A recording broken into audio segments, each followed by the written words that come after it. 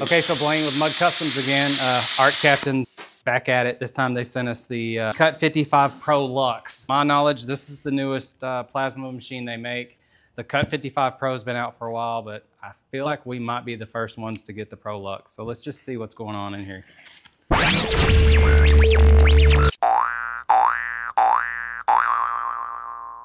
So I'm gonna be honest with you, I've already used this unit. I was too excited. I had to have it. I used it just now on the Bronco filming. So it's a reverse unveiling, which would be a reveiling. I don't know, whatever, whatever backwards is of that. I used to work for a welding company that built equipment just like this. I've 25 years of my life building plasma machines, building plasma torch heads, welding machines. And when I see something new I haven't seen before, I kind of geek out. And when I pulled this out of the box, I was like, what even is this? I thought it was a t-shirt. It's not. It's something that you use. This is smart. It's lightweight. It's it's everything you need, all encompassing, and nothing you don't, which is typically 20% of what you buy when you buy a more expensive plasma machine and it's stupid. We all do it. Uh, everybody wants the newest bells and whistles, and you want it in a big briefcase. But the reality is, the second you pull it out of that briefcase with all those foam inserts and all that dictation of where it's got to go, and you're not going to put that back together every time you use it. And so what happens is you don't store your product properly. This stores your product properly. I'm not going to get metal shavings in it if it's sitting around the shop. I'm not going to get dust in it. The other units, the unit that I run the uh, plasma table on, it's huge. Uh, it came with a briefcase. I threw it away the day I got it because I'm not going to put a unit that's hardwired into my plasma machine in a case. If it had just a cover, I'd cover it every damn time. Very smart. Impressed with the bag. It's not even a bag. It doesn't have a bottom. It's not even as difficult as a bag. All right, let's set this thing up. Here's your torch, instructions, consumables, stickers, ground clamp, power converter if you need it, 110 or 220, or whatever electricians are supposed to say. Clean digital display. We'll get into that here in a second. Ground clamp, super simple. It's got a male, just goes right here, twist it, it's locked in. Here's the torch, flat weight, it's got a safety, it's got a guide. The trigger is two wires, only goes one way,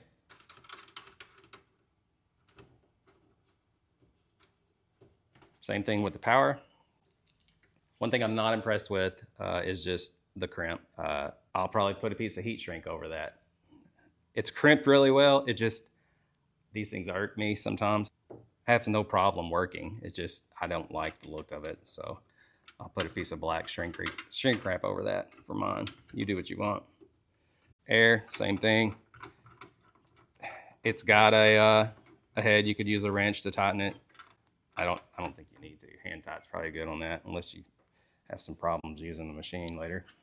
Okay, so it's locked and loaded. That's it. It's that simple. I mean, that was pretty quick, and I was talking to you while we did it.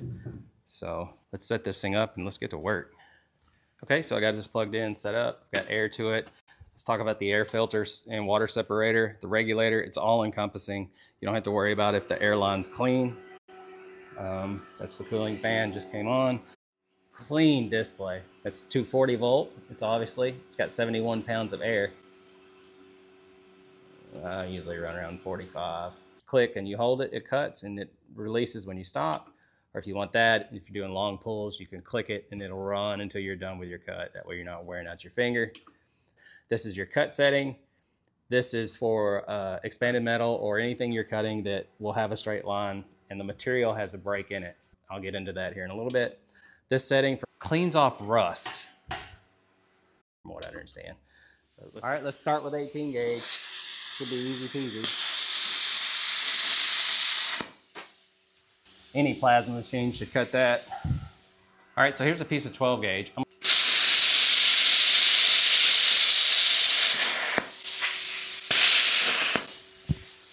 Okay, we're looking at a 10 gauge.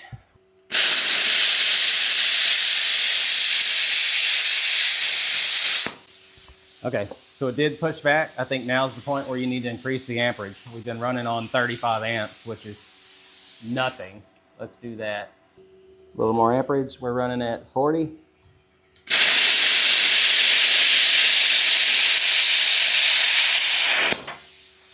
Okay, back to cutting. Uh, minimal dross. That could be air pressure. Nothing to deal with. That would knock right off if you're building something. So seven gauge. I'm gonna keep it at 40 amps and see if it cuts well.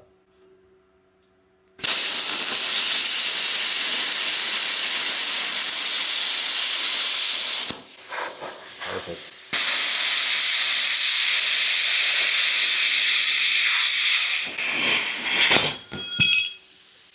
Nice, somewhat dirty piece of quarter inch. It's Got rust scale on it. Probably increase the voltage. So I'm gonna do, uh, crank it up to 45 amps.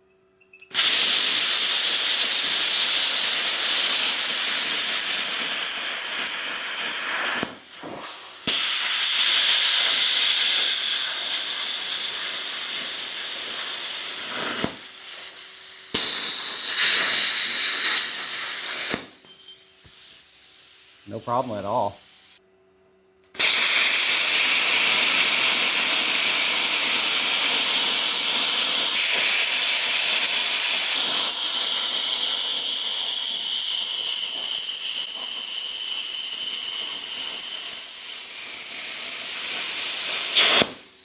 That's 3 8 At 50 amps, still not its max. Let's cut another piece so it's not a one hit wonder. Let's eat into that duty cycle, see how she likes it.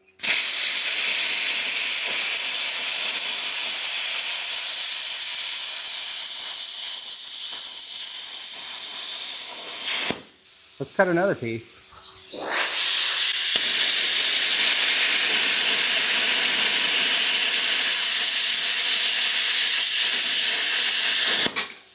3 8 folks. I mean, it's a handheld plasma cutter. I mean, all that dross will knock off with a hammer. Okay, we're still on it with the Cut 55 Prolux from Arc Captain, the newest plasma cutter they make. I've got a piece of rusted uh, expanded metal, or I don't even know what you call this. I guess it's expand. It's the. It's got the grates in it. People make smokers out of them and whatever. I'm gonna set it on the setting for interrupted cuts. I'm not sure what they call it, but we're gonna see what kind of difference that makes.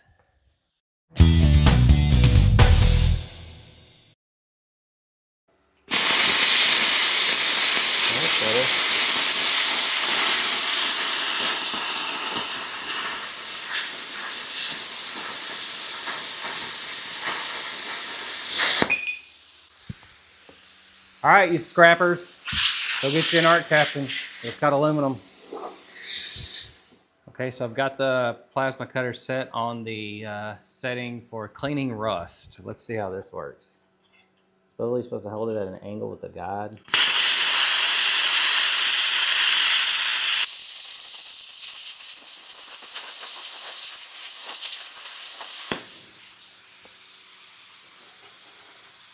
Holy crap. That actually worked. It took off the rust, but didn't cut the metal. I'm sure you still hear the machine running. Uh, I've been filming these clips for about an hour, hour and a half now. Uh, I want to talk to you about duty cycle. Duty cycle on a machine like this is the time you can actually use it at its capacity. So uh, typically a handheld plasma machine runs at about 35 to 40% duty cycle. And what that means is if, if a unit has a 40% duty cycle, in a 10 minute span, you can use it for four minutes and it needs to cool off for six. Uh, that can get frustrating if you're trying to use a handheld machine to do multiple jobs. Um, this unit has a 60% duty cycle, which for a handheld unit, that's elite. You're not gonna see too many handheld units portable that have a 60% duty cycle. So if you're using this in a 10 minute window at its full capacity, it can operate for six minutes. It needs four minutes to cool off to stay efficient. Um, you can get to 100% duty cycle with a machine, but you're talking about $9,000 torch heads. You're talking about big industrial machines that are bigger than this building. Uh, cooling finally shut off. So I stopped using it about 10 minutes ago. The unit is phenomenal.